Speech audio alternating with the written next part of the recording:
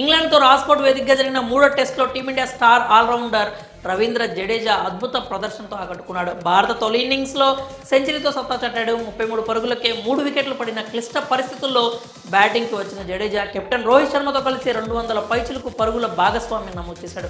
నిజానికి ఆ పార్ట్నర్షిప్ మ్యాచ్లో టీమిండియా నిలబెట్టింది.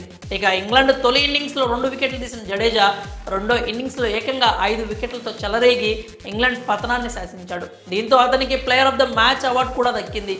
ఇంత బాగా ఆడిన జడేజాను టీమిండియా నుంచి తీసేయాలని అతనిపై నిషేధం విధించాలి అంటూ ఒక వింత వాదన సోషల్ మీడియాలో వైరల్ అవుతోంది.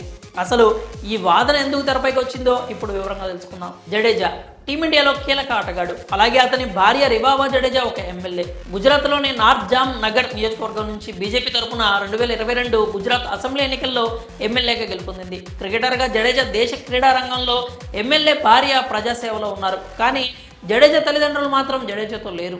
ఇటీవల జడేజా తండ్రి అనిరుద్ సిన్హా జడేజా తన కుమారుడు కోడలిపై తీవ్ర ఆరోపణలు చేశారు. కోడలు వచ్చినప్పటి నుంచి కొడుకు తమకు దూరం అయ్యాడని మా ఇంటికి వాడు వాడింటికి మేము వెళ్ళమని కనీసం మమ్మల్ని చూసేందుకు కూడా జడేజా తమ ఇంటికి రాడని తండ్రి ఆవేదన వ్యక్తం చేశారు.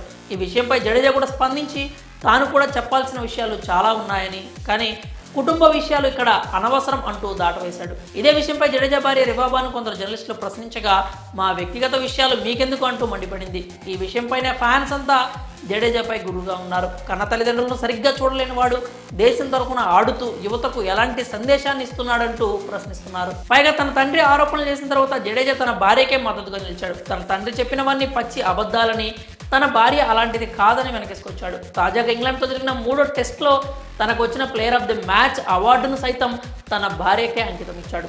ఒకవైపు భార్య కారణంగా కన్న తల్లిదండ్రులకు దూరమైన జడేజా ఇప్పుడు అవసరం లేకపోయినా తన భార్యను హైలైట్ చేయడానికి అవార్డును సైతం అంకితం ఇవ్వడంపై కొంతమంది నెటిజన్స్ మండిపడుతున్నారు. జన్మనిచ్చిన తల్లిదండ్రులు ఎంతో కష్టపడి పెంచి పెద్ద చేస్తే జడేజా ఈ స్థాయికి వచ్చాడని ఇలా ఆర్థికంగా బలపడగానే వారిని గాలి కుదిలేయడం సరికాదని నెటిజన్స్ అంటున్నారు. క్రికెట్లోకి వచ్చిన కొత్తలో జడేజా ఎలాంటి పరిస్థితుల్లో ఉండేవాడో అతనికి తెలియదా? అలాంటి పరిస్థితుల్లో కూడా తల్లిదండ్రులు మద్దతుగా నిలిచి ఇంత వాడిని చేస్తే ఇప్పుడు వాళ్ళను కాదని భార్యకే ఒత్తాసు పలుకుతావా అంటూ మండిపడుతున్నారు. తల్లిదండ్రుల కష్టం లేనిదే ఈ రోజు టీమిండియాకు ఆడుతున్నావా అంటూ ప్రశ్నిస్తున్నారు.